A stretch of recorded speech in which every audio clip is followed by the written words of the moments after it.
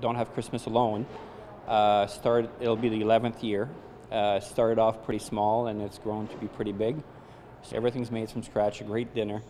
And uh, this year we'll do it a little differently in the sense that uh, the Lions have agreed to host uh, the dinner on Christmas Day.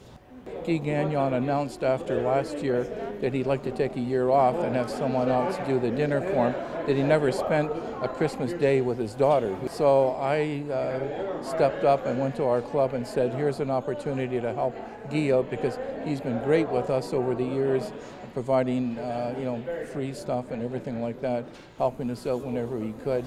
Lovely stuff. There's two different facets to the, uh, the, din- the dinner.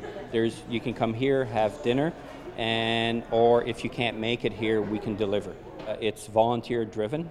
Uh, without the volunteers, obviously, wouldn't be able to make it happen. It's we, we're we have great support. You call the store 705-646-1412, and you just say that you want to be uh, involved. You could want to you want to be a volunteer or a guest at our Christmas dinner, and we'll take uh, your name, your phone number. If you wish uh, to have a delivery, we'll take your address, and uh, it's all taken care of from there.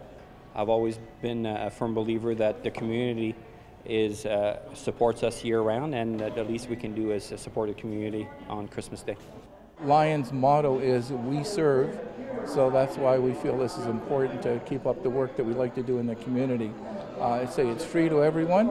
Uh, I have a core group of about a dozen Lions coming to help. Guy has, uh, well, Mar actually, Guy's right hand, has uh, about 30 volunteers that have been doing this for over the last 10 years.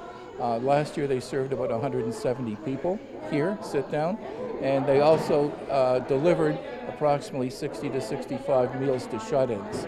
So that's another important uh, aspect of it as well. That you know nobody goes left out without a hot dinner on Christmas Day.